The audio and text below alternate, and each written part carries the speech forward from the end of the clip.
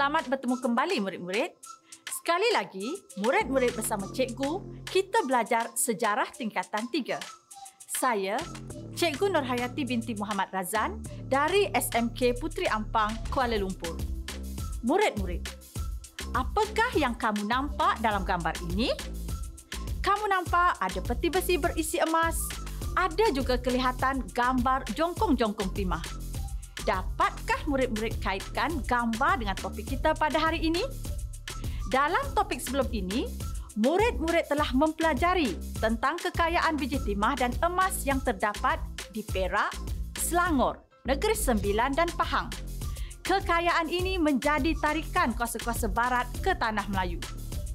Peta ini menunjukkan laluan perdagangan kuasa barat ke negara-negara Asia Tenggara termasuk tanah Melayu. England, Britain atau apabila kita membincangkan tentang kuasa barat ini, kita sering menyebutnya sebagai British. Peluasan kuasa British bermula secara tidak langsung dengan pembentukan negeri-negeri selat pada tahun 1826. Negeri-negeri selat yang dibentuk oleh British pada tahun 1826 ini terdiri daripada Singapura, Pulau Pinang dan Melaka. Pembentukan negeri-negeri selat ini penting kepada British. Tindakan ini membolehkan British menguasai laluan perdagangan di antara India dan China dan mengukuhkan hubungan ekonomi dengan negeri-negeri Melayu. Kemakmuran negeri-negeri Melayu yang kaya hasil biji timah mendorong British berusaha meluaskan kuasa. British memerlukan hasil ekonomi negeri-negeri Melayu untuk memajukan perdagangan. Hasilnya, British makin giat dan mula mencari peluang untuk meluaskan pengaruh mereka di negara kita. Baiklah murid-murid, pada sesi ini, cikgu akan menerangkan topik tentang peluasan kuasa British di Perak, Selangor, Negeri Sembilan dan Pahang. Murid-murid di rumah, pastikan murid-murid membuka buku teks sejarah pada halaman 64 dan membuat catatan masing-masing. Murid-murid, fokus subtopik 3.2 ini adalah untuk melihat strategi-strategi digunakan oleh kuasa barat bagi meluaskan kuasa di Perak, Selangor, Negeri Sembilan dan Pahang. Kuasa-kuasa barat menggunakan pelbagai strategi untuk menguasai negara kita terdapat strategi yang bersifat agresif dan yang lebih bersifat diplomasi. Dalam konteks perbincangan kita pada hari ini, kita akan lebih memahami bahawa British menggunakan strategi yang lebih bersifat diplomasi berdasarkan isu dan faktor setempat. Bahkan, kemakmuran negeri-negeri Melayu yang kaya dengan biji timah mendorong British berusaha meluaskan kuasa ke Perak, Selangor Negeri Sembilan dan Pahang. Masihkah kamu ingat? Sebelum British, negara kita pernah dijajah oleh kuasa barat lain? Portugis, Belanda. Kuasa barat ini bersifat agresif, termasuk menggunakan serangan fizikal. Sebaliknya, British lebih licik apabila menggunakan pelbagai strategi untuk menguasai negara kita. Antaranya termasuk manipulasi, ugutan dan desakan serta melalui perjanjian. Murid-murid, hari ini cikgu akan memperkenalkan dua teknik dalam belajar.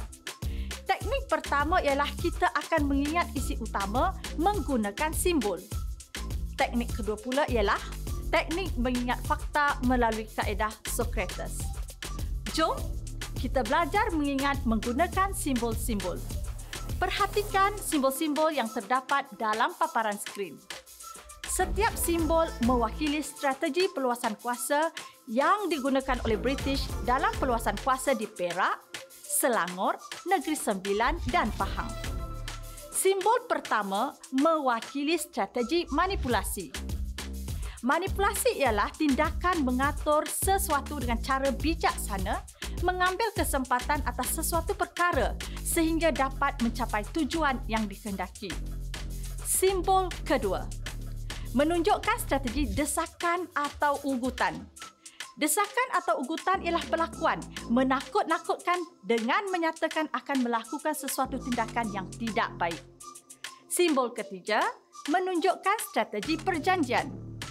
Perjanjian bermaksud peristiwa seseorang atau pihak berjanji kepada seseorang atau pihak yang lain untuk melaksanakan sesuatu hal. Murid-murid, artinya kau mengenai dok negeri ini. Biar cikgu bagi petunjuk seterusnya. Nama negeri ini sama ejaannya dengan nama sejenis hasil galian yang turut terdapat di negara kita. Ha, dah tahu nama negeri ini? Bagus, tepat sekali. Negeri ini ialah negeri Perak. Perak ialah negeri kedua terbesar di semenanjung Malaysia selepas negeri Pahang dan keempat terbesar di Malaysia. Dapatkah murid-murid mengagak bagaimanakah British meluaskan kuasa di negeri Perak?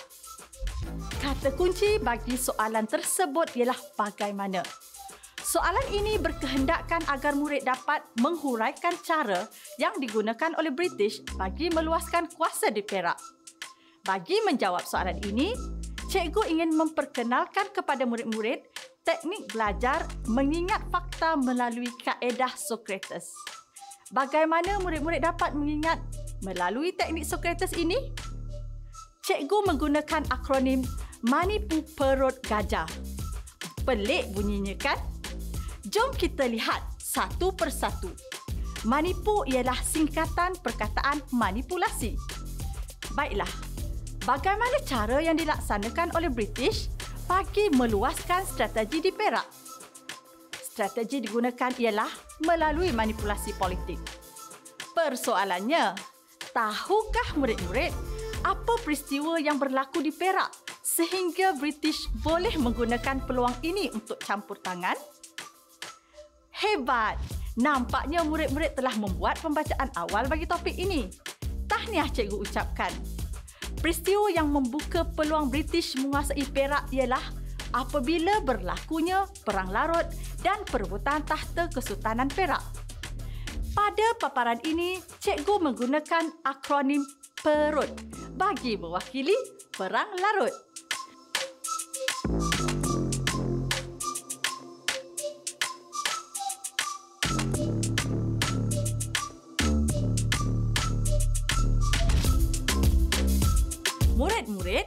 Masih ingatkah kamu dalam sesi pelajaran terdahulu kamu telah mempelajari bahawa Larut merupakan kawasan perlombongan biji timah yang amat penting di negeri Perak pada abad ke-19.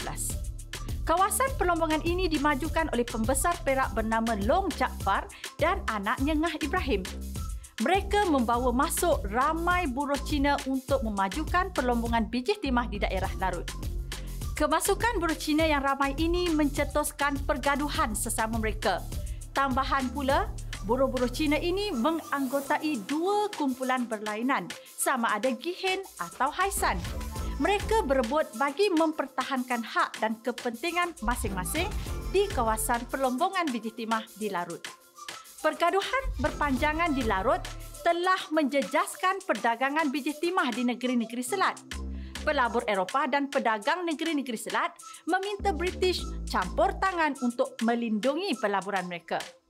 Peluang British campur tangan lebih terbuka apabila berlakunya perebutan tahta di Perak pada tahun 1871. Konflik ini melibatkan tiga pihak. Masing-masing menuntut hak ke atas tahta Perak. Tiga pihak ini ialah Raja Ali, Raja Abdullah dan Raja Yusuf. Selepas kemangkatan Sultan Ali pada tahun 1871, Raja Bendahara iaitu Raja Ismail menjadi Sultan Perak. Pelantikan itu ditentang oleh Raja Muda iaitu Raja Abdullah dan Raja Yusof yang menuntut haknya setelah sekian lama diketepikan.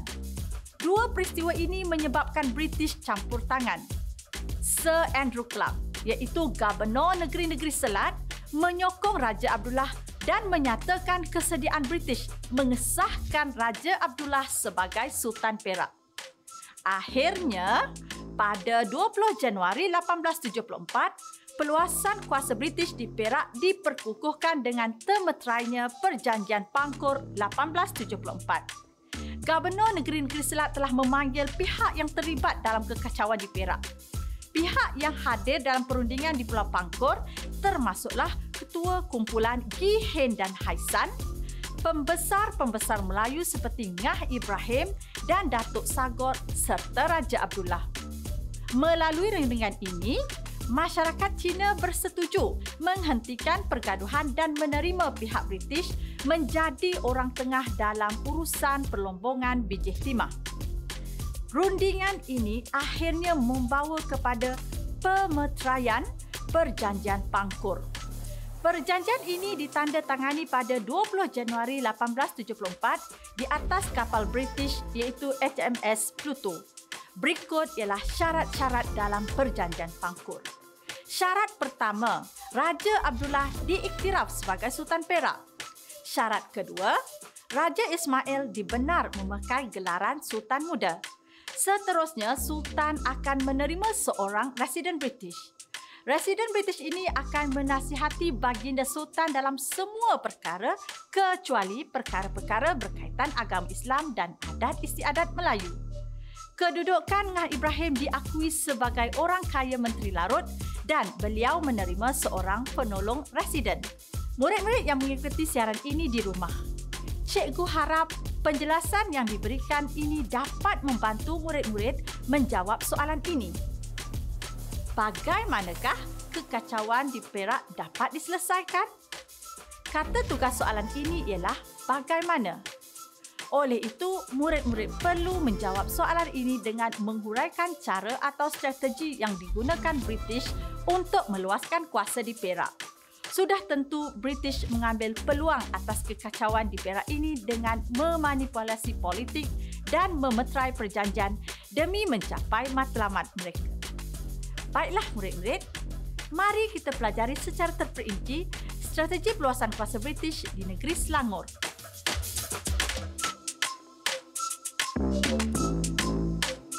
Sekali lagi kita akan menggunakan teknik belajar mengingat fakta sejarah melalui kaedah Socrates. Murid-murid perlu perhatikan penggunaan akronim yang akan cikgu kongsikan ini. Cikgu menggunakan perkataan akronim Manipu Saudara Raja. Jom Mari kita sama-sama mengkaji peristiwa yang berlaku di Selangor hingga membuka peluang kepada British melakukan manipulasi tersebut bagi kepentingan dan mencapai matlamat mereka meluaskan kuasa. Sewaktu pemerintahan Sultan Abdul Samad, tercetus pertelingkahan dalam kalangan kerabat di Raja Selangor. Hal ini mencetuskan perang saudara yang juga dikenali sebagai Perang Klang. Perang Kelang ini berlaku antara tahun 1866 hingga 1874. Persoalannya, tahukah murid-murid mengapa Perang Kelang ini berlaku? Perang Kelang melibatkan antara Raja Abdullah bin Raja Jaafar dengan Raja Mahdi bin Raja Sulaiman. Raja Abdullah bin Raja Jaafar mendapat hak mentadbir daerah Kelang daripada Sultan Abdul Samad. Hal ini menimbulkan rasa tidak puas hati Raja Mahdi yang mentadbir Kelang ketika itu. Tunku Ziauddin atau dikenali sebagai Tunku Kudin dilantik sebagai wakil Sultan Selangor untuk menamatkan Perang Kelang. British menggunakan peluang melaksanakan manipulasi politik. British memberikan bantuan ketenteraan kepada Tunku Kudin untuk menamatkan Perang Kelang. British mengharapkan melalui bantuan ketenteraan ini, Sultan Selangor menerima perlindungan British. Persoalannya, berjayakah British? British tidak berjaya. Namun, British tidak putus asa. Mereka mencari peluang untuk meluaskan pengaruh dan kuasa mereka di Selangor. Cuba murid-murid lihat pada paparan ini. Perhatikan simbol yang cikgu gunakan boleh murid-murid nyatakan simbol yang mewakili strategi mana? Tepat sekali murid-murid. Strategi ini mewakili strategi desakan dan ugutan. Jom kita lihat peristiwa yang berlaku di negeri Selangor menyebabkan British boleh mengungkut dan mendesak Sultan Selangor menerima kekuasaan British di negeri ini. Peluang pertama British tiba. Pada tahun 1873, berlaku kejadian Lanun merompak kapal dagang British di Selangor. kapal dagang ini dalam perjalanan dari Pulau Pinang ke Melaka telah dirompak berdekatan dengan langat. Murid-murid, pada tahun 1874 berlaku serangan ke atas rumah api Tanjung Rakado. Rumah api ini dibina oleh British dan serangan ke atas rumah api ini digunakan oleh British untuk mendesak Sultan Abdul Samad menerima naungan British. British menggunakan strategi desakan dan ugutan terhadap Sultan Selangor. British mendesak Sultan Selangor memeterai perjanjian. Akhirnya British berjaya memeterai perjanjian British Selangor pada tahun 1875. Melalui perjanjian ini, British membantu Sultan Selangor memerintah negeri. James Guthrie Davidson atau lebih dikenali J.G. Davidson berkuasa di Kelang. Frank Swettenham menetap di Langat untuk membantu pentadbiran Selangor. Apa kono ijang, kau monung aja. Eh, eh, cikgu menyanyi pula. Tapi nyanyi sikit-sikit bolehlah. Kalau nyanyi panjang-panjang, nanti kantoi pula suara cikgu yang sumbang mambang ni. Murid-murid, sekarang kita akan mengkaji peluasan kuasa British di Negeri Sembilan. Setelah Perak dan Selangor, British turut mensasarkan usaha peluasan kuasa di Sungai Ujong Negeri Sembilan. Konflik antara dua pembesar di Sungai Ujong Negeri Sembilan iaitu Datuk Kelana Syed Abdul Rahman dan Datuk Bandar Kulub Tunggal. Kedua-dua pembesar ini telah bersengketa untuk menegakkan kekuasaan di daerah Sungai Ujong. Konflik ini menyebabkan British mengambil kesempatan untuk campur tangan. Murid-murid ingat, fokus utama topik kita hari ini ialah strategi yang digunakan oleh British dalam usaha peluasan kuasa di Perak, Selangor, Negeri Sembilan dan Pahang. Adakah murid-murid dapat mengagak cara digunakan oleh British dalam usaha peluasan kuasanya di Negeri Sembilan? Wah, bagus murid-murid nampaknya kamu semakin memahami strategi peluasan kuasa British di negeri-negeri Melayu seperti Perak, Selangor, Negeri Sembilan dan Pahang. Tepat sekali. Strategi yang digunakan British di Sungai Ujong ialah manipulasi politik.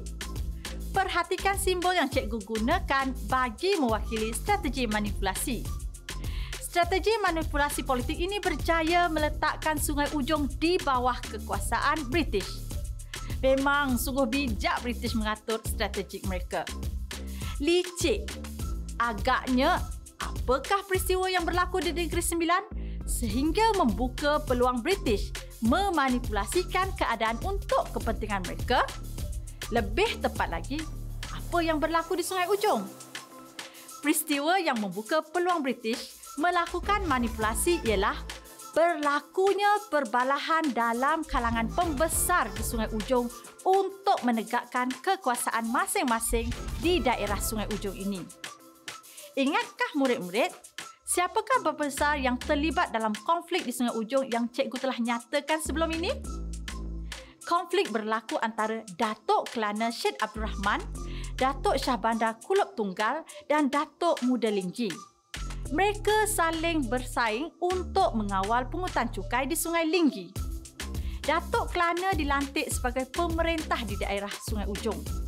Pada masa yang sama, terdapat seorang lagi pembesar yang berpengaruh di daerah ini iaitu Datuk Bandar Kulub Tunggal. Namun begitu, persengketaan Datuk Kelana dan Datuk Shah Bandar dimanipulasikan oleh British. Datuk kerana merasakan kedudukannya sebagai pembesar daerah Sungai Ujong tidak terjamin kerana Datuk Bandar mendapat sokongan sebahagian besar penduduk tempatan dan pelombong-pelombong Cina di Sungai Ujong. Persoalannya, mengapa Sungai Linggi menjadi rebutan dalam kalangan pembesar di Sungai Ujong? Sungai Linggi merupakan laluan penting menghubungkan Sungai Ujong dengan kawasan sekitarnya. Tambahan pula, Sungai Linggi turut berfungsi sebagai jalan perhubungan utama ke Pelabuhan Melaka. Penguasaan ke atas Sungai Linggi membolehkan pembesar mendapat hak memungut cukai terhadap pedagang yang membawa biji timah melalui sungai tersebut ke Pelabuhan Melaka. Jadi British memanfaatkan konflik yang tercetus di Sungai Ujong dan memberikan bantuan ketenteraan kepada Datuk Kelana Sheikh Abdul Rahman. British berjaya meletakkan daerah Sungai Ujong yang kaya dengan biji timah di bawah kekuasaannya. Hal ini dapat dijalankan melalui perjanjian British Sungai Ujong yang ditandatangani pada 21 April 1874. Syarat-syarat perjanjian tersebut ialah Pertama, Datuk Kelana diiktiraf British sebagai pemerintah di Sungai Ujong. British berkuasa penuh mengutip cukai di Sungai Ujong. British melantik PJ Murray sebagai residen British pertama di Sungai Ujong. Tindakan ini menjadi penggerak bagi tindakan British mengukuhkan kuasa ke seluruh negeri sembilan. Pahang. Tahukah kamu mengapa British berhasrat meluaskan kuasa di Pahang? Ya, betul murid-murid. British ingin mendapatkan kekayaan hasil bumi yang terdapat di Pahang jalur emas Pahang meliputi kawasan perlombongan yang terdapat di Raub dengan berkeluasan 14,000 batu persegi. Pahang bukan saja kaya dengan emas. Sebaliknya, negeri ini juga kaya dengan biji timah. Strategi British di Pahang agak berbeza jika dibandingkan strategi British di Perak, Selangor dan Negeri Sembilan. Perbezaannya ialah British tidak mempunyai ruang melakukan manipulasi Hal ini demikian kerana Pahang tidak berlaku kekacauan dalam kalangan kumpulan pelombong sebagaimana peristiwa di Perak. Pahang juga tidak berlaku persaingan antara pembesar memungut cukai sebagaimana yang berlaku di Sungai Ujong. Tambahan pula sikap Sultan Ahmad iaitu Sultan Pahang. Baginda amat berhati-hati dengan sebarang rundingan terutama rundingan melibatkan pihak British. Tindakan Sultan Ahmad membawa masuk pelabur-pelabur Eropah dan memberikan konsesi kepada mereka tidak disenangi oleh British. British khawatir tindakan Sultan Ahmad ini menjejaskan kepentingan mereka di negeri-negeri Melayu. British cuba memujuk Sultan Ahmad menerima residen British tetapi gagal. Oleh yang demikian, British mendapatkan bantuan Sultan Abu Bakar dari Johor untuk memujuk Sultan Ahmad menerima seorang wakil British di Pahang. Murid-murid, wakil British ini berbeza peranannya berbanding residen. Wakil British mempunyai kuasa seperti seorang pegawai konsul iaitu mengurus dan melindungi rakyat British di negeri lain. Kuasa seorang wakil British adalah terhad dan jika dibandingkan kuasa seorang residen tentulah British sedaya upaya berusaha meletakkan seorang residen di negeri Pahang. Persoalannya, bagaimana British melakukan peluasan kuasa di Pahang? Apabila cara ini tidak berjaya mengubah pendirian Sultan Pahang, British mula mencari jalan untuk mendesak dan mengugut Sultan Pahang agar menerima residen British. Peluang yang dinanti-nantikan oleh British tiba. Pada tahun 1888, seorang lelaki berbangsa Cina bernama Goh Hui ditemui mati ditikam di perkarangan Istana Sultan Ahmad. Menurut British, Goh Hui merupakan seorang warga negara British. Pembunuhan Goh Hui dijadikan alasan untuk mendesak Sultan menerima naungan British. Sultan dituduh tidak mampu mewujudkan keadilan dan ketenteraman awam di Pahang. Hmm, British, British. Tindakannya memang penuh muslihat rupanya.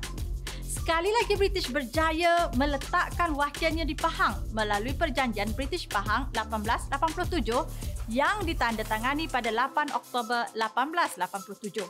Syarat-syarat perjanjian tersebut ialah British menempatkan seorang wakil yang mempunyai kuasa seperti pegawai konsul di Pahang. British bertanggungjawab menjaga keamanan Pahang. Pahang tidak dibenarkan membuat sebarang perjanjian dengan kuasa asing tanpa kebenaran British.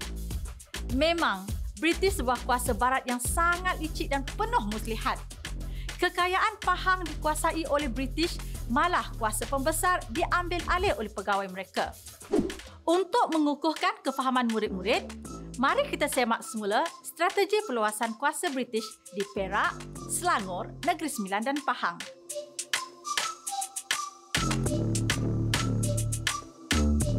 Melalui pelbagai strategi perluasan kuasa, British dapat melaksanakan sistem residen di Perak, Selangor, Negeri Sembilan dan Pahang.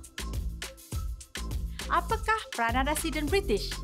Residen British berperanan menasihati Raja-Raja Melayu dalam semua hal ehwal pentadbiran kecuali berkaitan agama Islam dan adat istiadat Melayu. Nasihat sewajarnya boleh dipertimbang oleh Sultan untuk diterima atau sebaliknya. Tetapi melalui sistem residen, semua nasihat hendaklah diikuti dan dipatuhi oleh Raja-Raja Melayu. Perhatikan paparan ini. Residen British pertama dilantik di negeri Perak ialah Residen James Wheeler Watford Bush atau lebih dikenali sebagai JWW Bush.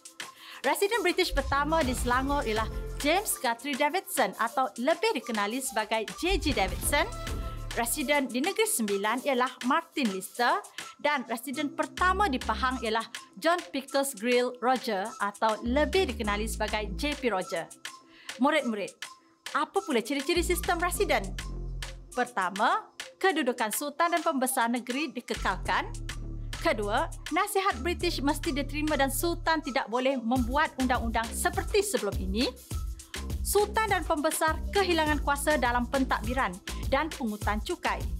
Residen mengambil alih pentadbiran pada peringkat pembesar dan negeri dan peranan pembesar diganti oleh pegawai-pegawai barat.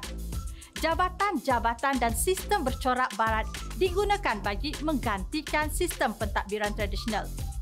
Setelah melihat ciri-ciri sistem residen, apakah kesimpulan yang boleh kamu buat?